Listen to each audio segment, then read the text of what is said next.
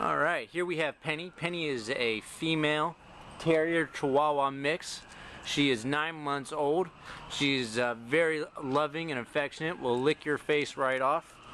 Uh, she is not currently uh, housebroken all the way, but she's certainly working on it. She loves to go for runs and play in the yard. And she would do great in a home with uh, another playful dog and with small children. Uh, she's been spayed and vaccinated, microchipped and dewormed, and uh, she's waiting for a loving home as we speak at the uh, Paws Humane Society in Columbus.